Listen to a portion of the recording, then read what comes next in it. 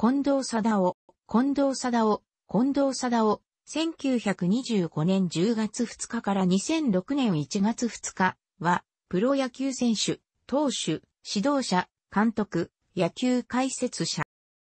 現役時代は、西鉄軍、巨人、中日、名古屋で活躍し、引退後は中日、ロッテ、太陽、日本ハムのコーチ、監督を歴任した。中日では、選手、コーチ、監督という異なる立場で優勝を経験した。愛知県岡崎市出身。旧制愛知県立岡崎中学校から旧制法政大学を中退後、1943年に西鉄軍に入団。強打の一塁手として鳴らしたが、深刻な投手不足のチーム事情から石本修一監督は近藤の長身からの速球を見出し投手にコンバートした。同年、西鉄は資金難のため1年で解散に追い込まれてしまう。なお、この西鉄軍は戦中の日本野球連盟活動停止前に解散したため、戦後に復帰を認められなかった。このため、2リーグ分立時に、西鉄、クリパースとして、パリーグに加盟した球団との間に、直接的なつながりはないが、市の不法に際しては、旧制、岡崎中学から西鉄、現、西部入団と書かれているものある。折しも徴兵による選手不足に悩む東京巨人軍の藤本秀夫監督から申し出があり、1944年、黒沢敏夫らと共に巨人に移籍した黒沢と共に他球団から巨人に移籍した最初の選手となる。登板しない試合には野手として出場したこともあるなどし、プロ野球が再開された2年後の1946年に大車輪の活躍でチーム最多の23勝を挙げるが、秋季キャンプで滞在していた愛媛県松山市で、山中、新中軍のジープに跳ねられそうになったためそれを避けたところ、速攻に転落。そこにガラスの破片があったため、右手中指を負傷してしまう。戦後混乱期にあって、迅速な治療を受けられず、神経に深い傷を残してしまい、満足な投球ができなくなり、巨人を自由契約になる。同僚だった千葉茂は近藤の負傷が別所引き抜き事件の遠因に行ったと評する。なお、近藤の右手中指は生涯第二関節から先が曲がったまま元に戻ることはなかった。巨人時代の同僚で中日に移籍していた宮下信明が中日の杉浦清監督に掛け合い、近藤は中日に移籍。移籍1年目の1948年、独特の3本指で投げる疑似チェンジアップ、パームボールを開発し年7勝、翌1949年7勝、1950年10勝と活躍した。この近藤の復活劇をモチーフに新東宝が人生選手という映画を制作した。この映画には近藤も出演している。天地俊一監督が復帰した1954年、チームがリーグ優勝を果たす。同年限りで引退。1955年から1962年、野口第三次天地第一次杉下、農人監督時代、1964年から1968年、第二次杉浦西沢第二次、杉下監督時代まで中日投手コーチを務めた。ルーキーイヤーから2年連続30勝を挙げながら、連投に次ぐ連投で肩を壊し、事実上投手生命を失った近藤博士、後に横浜監督の起用法に対する反省から、先発、中継ぎ、抑えの投手分業制を提唱。甲子園準優勝投手の成り物入りで入団しながら、打線の援護に恵まれず、不振を囲っていた坂東英二をリリーフエースとして起用することで見した。坂東は期待に応えて活躍。巨人、中尾博士投手コーチとの論争などを経て、近藤の投手分業制は球界に定着した。ただし、この件について、近藤は、次長、野球は、ダンディズム88の中で当時はまだ弱敗で、農人渡る監督、石本修一ヘッドコーチの近藤の使い方を疑問の目で見ながらも、確たる理論的な裏付けもないまま、口を挟むことができなかったと話している。実際に確信したのは、この5年後の1966年、フロリダの教育リーグでセネタースのピッチングコーチだった元ヤンキースのジョニー・セインから投手の肩は消耗品ということを教えられ、日本流の投げ込みや国士が確実に投手寿命を縮めることを確信したと書いている。また、コーチ時代に中日に在籍したポール・ホイタックの影響もあったと言われる。その後は、農人の誘いで1969年から1971年にロッテ投手コーチ。ロッテ時代には若手有望株であった村田長治の投球フォーム改造に取り組み、その完成型は、まさかり東方として村田の代名詞取った。1972年に中日の監督に就任した与那峰要の要請で、古巣中日にヘッドコーチ兼投手コーチとして再度招かれ、与那峰から投手の起用法について全てを任され、1974年のリーグ優勝に貢献した。同年2年目の鈴木高正を抜擢した。1976年退任。1977年からは中部日本放送野球解説者を務めた。1981年、再開の責任を取って辞任した中敏夫監督の後任として就任。近藤は前任監督の中について、中は年齢的にも長期政権を託されていたはずだから、わずか3年での退陣は、本人はもちろん、球団フロントも誤算だったはずだ。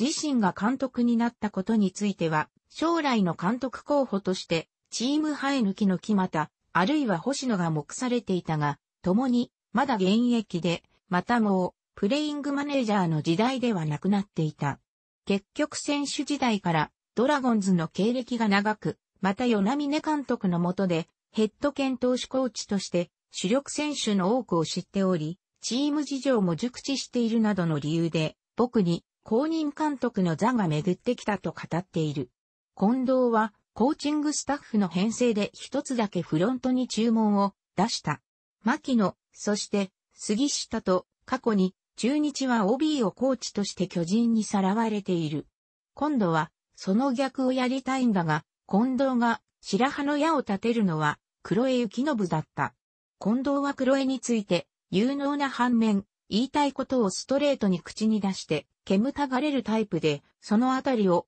フロントの誰かに疎まれたのか、老老の身だった。人間が仕事上での不平不満を酒場などで愚痴るのは、サラリーマンの世界でもよくあることで、グラウンドで期待してくれれば問題はないと考えたから、コーチとしての彼の能力のみを買って、クロエを自分のチームに迎え入れた結果は成功で、1982年のリーグ優勝は球界でのキャリアは長かったといえ新米で、ともすれば、作戦や傭兵で独断専行に陥る危険性があった僕を投手コーチだった今度作戦コーチだったジム・マーシャルらと共に助けてくれた。と著書の中で記している。戦力外になりかけていた平野健の才能を見抜きレギュラー野手に成長させ、2年目の若手投手、牛島和彦を抑え投手に抜擢し、翌1982年にリーグ優勝を果たした。この優勝決定試合は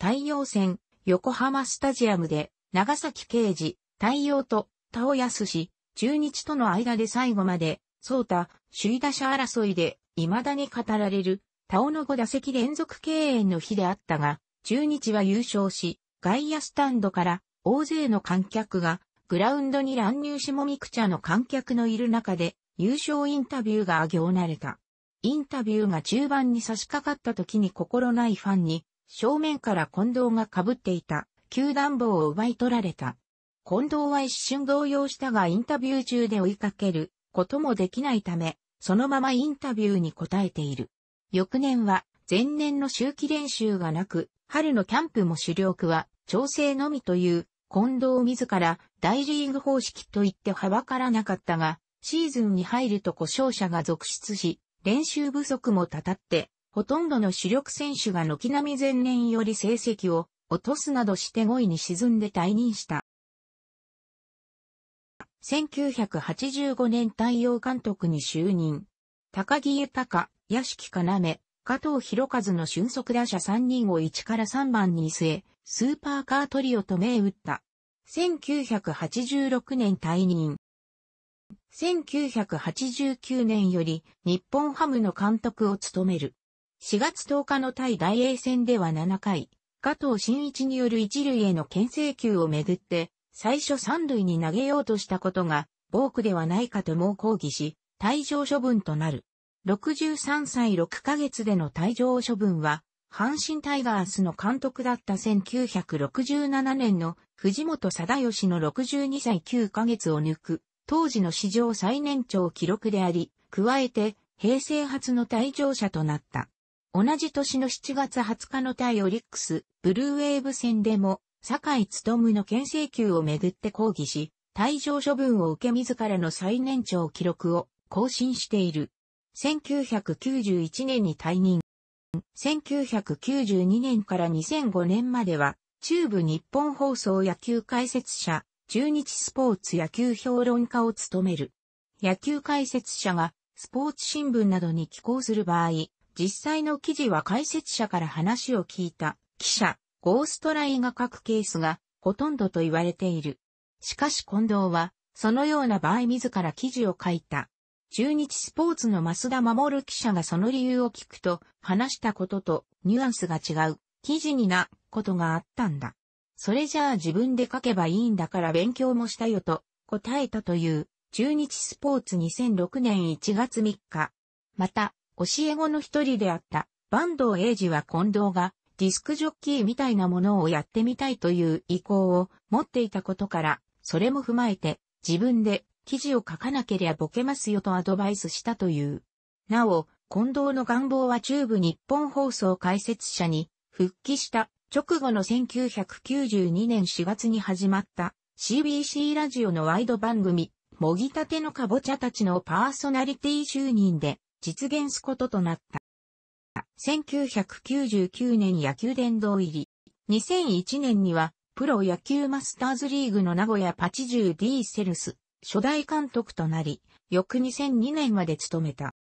2006年1月2日午前9時22分、都内の病院で呼吸不全のため死去。この年、かつて監督を務めた日本ハムが25年ぶりのリーグ優勝を果たし、中日も2004年以来の2年ぶりのリーグ優勝を決めた。ニックネームは、先進的な理論とユーモアあふれるパフォーマンスから、ダンディ。日ハム時代には、専門誌の週刊ベースボールで親しみを込めて、ダンディジジイと書かれたこともある。巨人のエースとして活躍したこともあったが、退団の経緯などの事情から、巨人 OB 会には一度も出席しなかった。彼自身が、瞬間、湯沸かし器と自称していた通り、審判に駆け寄っての抗議も多く、その際に両手を後ろに回すスタイルが、多くのプロ野球ファンの共感を呼び、日本のビリー・マーチンと呼ばれた。審判団から退場を命じられた数も多く、1993年に福岡大英ホークスの根本睦夫監督に破られるまで退場者の最高齢記録を持っていた。現在は200年に扇明が更新。1986年9月8日の対巨人戦、後楽園球場で有田修造のセーフティースクイズプレーがセーフと判定されて敗戦したことについて、今日は審判で負けたと発言した。なお、翌日の新聞に、有田はヘッドスライディングしたのでなく、一塁に手前で転んだだけ、とコメントが載った。また、平成元年、1989年のプロ野球において初の退場を命じられたのは大正生まれの近藤であった。しかしながら、実際のところは審判との罵り合いはファンサービスと捉えており、中日、対応の監督時代に2度の退場宣告を受けている、柏敏夫とは、実際には、アドバイスや議論を重ねる間柄だった。近藤が日本ハム監督になると、柏木を捕まえて、お前もパリーグに来て、一緒になんかやらかして、客集めしようと声をかけたこともあった。日本ハム時代は、前川義雄が抗議のターゲットであった。その一方で、近藤は論理的、システマティックな野球観を持っていた。例えば不要な投げ込みの禁止、自主練習を重視するスタイルによるキャンプでのダラダラした長時間練習の廃止、ハンデをしたようなバント作戦の否定、アメフト野球、ツープラトン野球と言われた攻撃と守備で選手を大きく入れ替える戦術などは、その野球館の代表例である。1982年のシーズン最終戦、優勝をかけた試合前に、ベンチ裏にビールをずらりと並べ、緊張するナインにグイッと引っ掛けて、度胸を据えていけと言ったが、ナインは誰も手をつけず、近藤和人だけが飲んでいたという逸話があるが、鈴木高正が、この試合は小松達夫が完投したこともあり、用なしだから、裏でビールを飲んでたと発言している。また木又達彦によると、5回頃に水を飲みに行ったところ、鈴木とどの上寺氏がベロベロになっており、ゲーム終盤にはみんな輪になって飲んでいたという。1981年に高知県人になった星野千一とは元より信頼関係は低かったが、中日が優勝した1982年には登録抹消はされなかったものの衰えが顕著になり、登板機会が大幅に減少した。同年6月30日名古屋球場での巨人戦9回、表4対2で2点リードの場面で、星野が通算3割3分以上打たれている苦手打者、淡口健二から同点本塁打を打たれる。牛島和彦に後を譲り降板。近藤は星野に、もう先発要員ではない。リリーフに回れと話したが、木又達彦は、先発、関東を生きがいにしてきた星野にとって、自分をすべて否定された思いに違いと記している。先発を外された上に、リリーフは、牛島の指定席とあって、星野はこの年をもって引退する。星野はその後も二度中日監督を務めるなど、球団内で圧倒的な権力を誇っていたが、阪神監督就任の際に中日 OB 会を除名されることとなった。近藤は中日 OB 会から星野を追い出したのが俺の最大の功績だと親しい知人に漏らしていた。こうした経緯から星野は近藤の訃報を聞いても、通夜、葬儀への出席をしなかったが、死去翌日の一部新聞、読売新聞大阪本社版等には追悼のコメントを寄せていた。しかし近藤は、著書で星野について、現役時代や監督としての姿勢を高く評価しており、前述の1982年の引退勧告も、これからの中日のメリットのことを考えてのことだったこともあり、複雑な心境だったと述べていた。また、監督就任時には、高木森道に、君はいいコーチになれるよと言い、引退するように仕向けて実現させており、星野と同年には、木又達彦も引退させている。同年5月23日太陽戦で9回裏9、対6で3点リードの場面で、鈴木高正が長崎圭一にサヨナラ満塁本塁打を打たれる。リードしていた木又を近藤がリードに問題ありと断罪され、翌日新人の中尾隆義にマスクを譲り、木又は代打に専念にするように告げられる。近藤が起用した中尾は同年 MVP を獲得している。代わって、投げは小松達夫や牛島ら、だは平野健らを登用している。投打ともに、球団のスター選手を引退させ、世代交代を進める役回りを果たしたと言える。チームが勝てば何だっていいというような無責任な考えの応援を心よく思っておらず、彼らは野球を見に来ているのではない。こういうのは野球ファンとは呼べないと嘆いていた。また、長島茂雄に対しては前向きな姿勢が立派であると評価していたものの、監督としての能力を心配している部分もあった。そこで、近藤は野村克也を参謀にして、長島とタッグを組んだら良いのではないかという考えを著書にて提唱していた。1967年は西沢道夫の休養に伴う監督代理、5月18日から5月28日。1981年から1996年までは130試合制。このほか、1974年10月14日の対巨人戦ダブルヘッダー、後楽園球場、長島茂雄引退試合でも代理で指揮を取っている、与那峰監督や主力選手が名古屋市内での優勝パレードに参加したため、楽しくご覧になりましたら、購読と良いです。クリックしてください。